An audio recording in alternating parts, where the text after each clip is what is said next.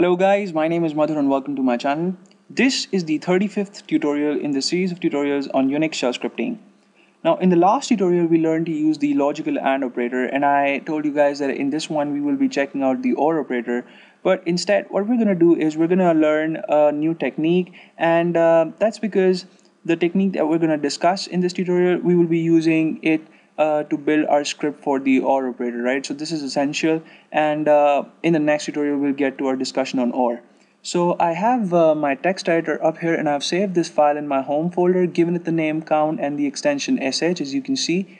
And uh, what this script is going to do is it's going to ask the user to enter a character and then it would uh, check whether just one character has been entered or more than one characters have been input. And uh, if one character has been entered then it will display one message. And you know if more than one characters have been entered then it will probably you know display a message like uh, invalid input right? So it's going to be a short and sweet script. And uh, let's get started with it. So I'll use echo on the first line to ask the user.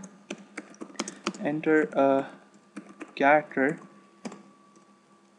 right? And I'll use read to store the input in the variable var.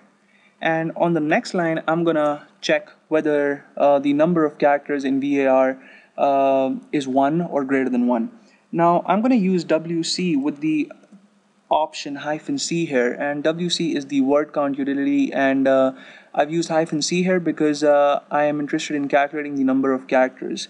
And um, wc comes with three important options. Hyphen l for lines hyphen w for words and hyphen c for characters. And uh, in case you people have forgotten how to use wc or if you have missed the tutorial on wc then I'll put the link to the tutorial in the description below and you can watch it.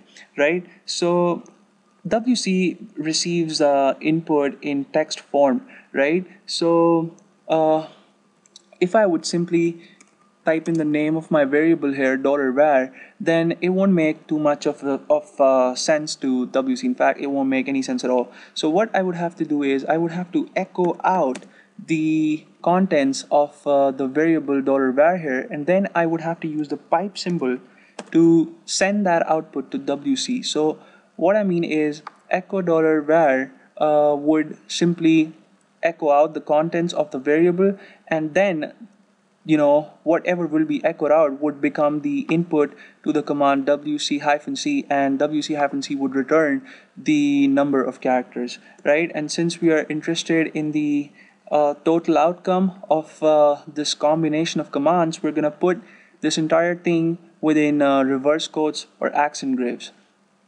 right? And uh, now we are gonna use the hyphen EQ operator and compare this numeric value to 2 and the reason why we've used uh, 2 here and not 1 is because when you use read to grab users input it basically appends the carriage return character to your input right? And uh, I'll demonstrate that to you guys. I have my terminal here. And if I would simply type in read space num and press the enter key then uh, my cursor blinks and waits for me to type in something right? So if I would uh, let's say type in 456 I would have to press the enter key to get back my dollar prompt. And when I press the enter key my variable num doesn't just get the value 456 but it gets the value 456 plus the carriage return character. And if I would use echo to see the contents of my variable num here then you would see that I get 456 and my dollar prompt gets displayed on the next line and that's because there's a new line character at the end right? So if that wasn't the case with read then we would have uh, obviously compared our numeric value to 1 but since uh, there is one additional character there I would have to compare the value to 2 I hope you people have understood this and um, uh, I'm gonna well make this an if statement because uh, we have to display uh, a couple of stupid messages. And uh, on the next line would go the keyword then and I'll use echo to display um, you entered a character. And if we go inside the else block then the user will see a different message.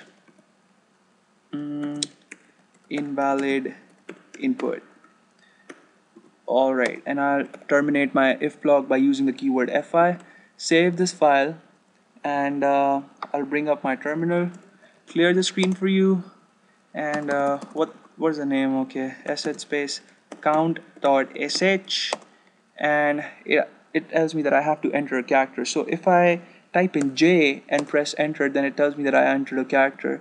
And if I uh, well type in 456789 and press the enter key then it tells me invalid input right? And you can uh, work around with the shell script and you can you know uh, type in random input and see that it actually does what it's supposed to do right? So there you go. Um, I will be using uh, this method in the next tutorial and that's why I've discussed it here. So I hope you people have understood how to use uh, WC-C with echo I'll uh, maybe go over it once again. I've used echo dollar $var here because I wanted to transmit the output of this statement to the output sorry uh, to act as the input of WC-C and uh, since both these are actually commands WC-C is a command that uses the input that's provided by the output of the echo dollar $var I've used the pipe symbol here right? And the pipe symbol you can find it over the enter key. And the accent graves you can find them uh,